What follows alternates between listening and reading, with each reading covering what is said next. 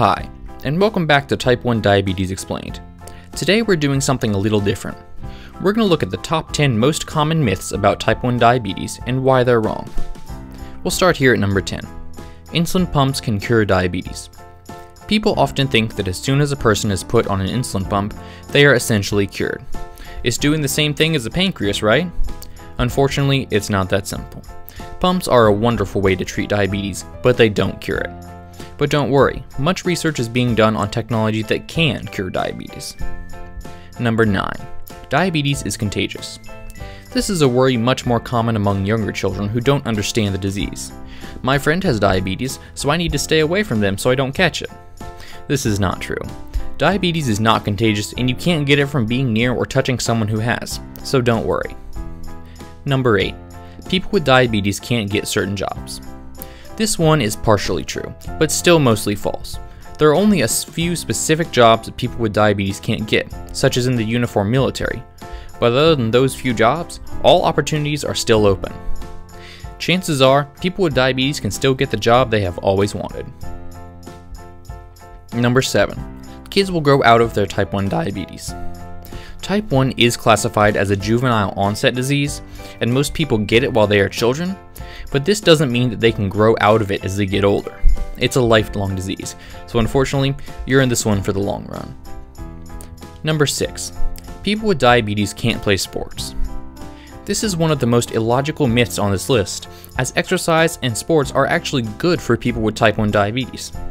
While it can be beneficial, people with type 1 diabetes still need to be careful while exercising to make sure that their blood sugars don't get out of control. But otherwise, people with type 1 diabetes can definitely still play sports. Number 5.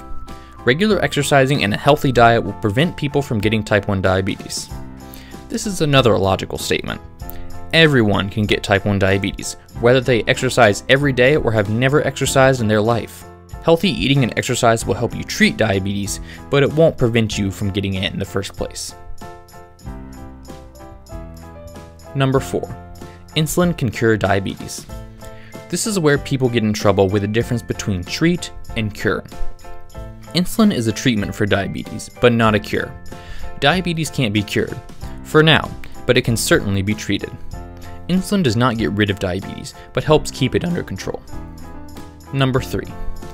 People just need to live healthier to get rid of their diabetes. This is more true for people with type 2 diabetes, as diet changes can help treat it, but less so for type 1.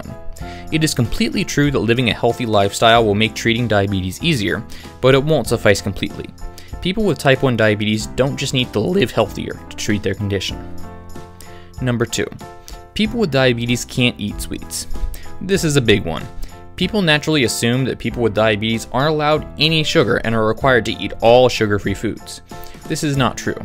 People with type 1 diabetes can still eat sugar, but just like everyone else should be doing, they need to limit themselves to a reasonable amount. People always ask whether people with type 1 diabetes can have sugar. They can have the same amount as others should be eating. Number 1. People get diabetes by eating too much sugar. This is by far the biggest misconception. People do not get type 1 diabetes from eating too much sugar or being overweight or out of shape. If someone has type 1 diabetes, it is not their fault. They had no control over whether they would get diabetes, and there was nothing that they, their guardians, or doctors could have done to prevent it.